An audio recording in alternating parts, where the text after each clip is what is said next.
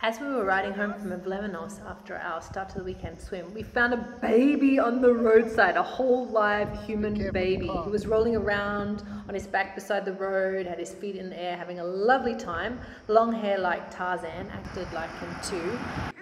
He'd already crossed the busy road by the time we found him, and he didn't mind me picking him up, and we went door knocking to find his folks. About five minutes later, I saw a totally panicked grandpa and father race onto the road, and my suspicions told me that was his family, and that's a good ending to that story. Tarzan! Oh, thank goodness you're all right! Carla and I have been so worried! Oh, thank you. Thank you so much for finding him, Gertrude. And from that sigh, you can tell how excited Sean was about the home maintenance we had to do the next morning, going around the house and identifying all the little bits and bobs that needed maintaining, looking after our little island home and being good house guests here. Look at this. Look at this, Sean. The rat's been eating this. It must have, it must have been crawling up from the sewer trying to eat its way out. This is where the rat has chewed out the toilet seat. And I guess the theory is that It's hungry.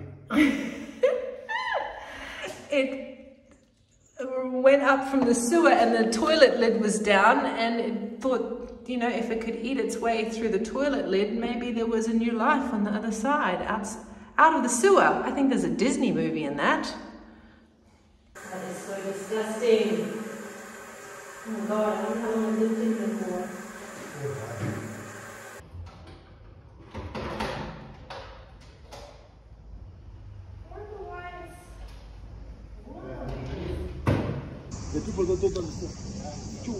Soon enough, we had a long list of things we needed from the hardware store, but we couldn't resist a stop at our favourite coffee shop. It was on the way anyway, and we met the owner this morning, and he was a passionate philosopher and gave us a history slash religion slash philosophy lesson. I want three things to live. To eat, to shut, to sleep. you must find the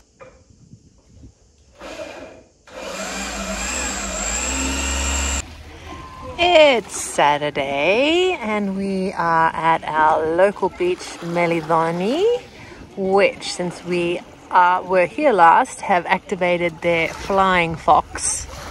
Uh, I think it's called a flying fox for the season.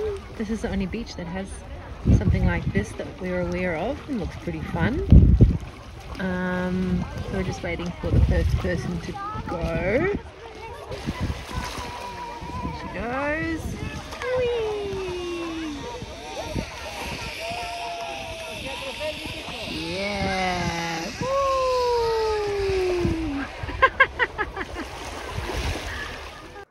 Leaving Melidoni, we noticed something leaking out of this thing. So we're back to that story on the bike. So that kept us grounded on Sunday.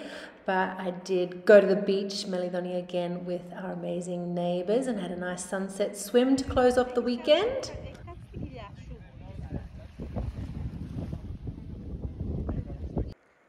And just like that, it was Monday again, and this is how I felt about that. Um, but the work week was improved with a little visit from Daisy, our neighbour's cat. She's just a total delight, and you can see she's covering both her ears because this is what she has to put up with. Daisy and I both agree Sean's a bit noisy at work, but we love him. Thank you, Sean, working hard on the Rapid Studio website here. Not to be. That makes perfect sense. Don't tell Claudia. And this is beautiful Capsali at night, but apart from that, we kept a pretty low profile this week. So that's our adventures for now, and we'll catch you next week.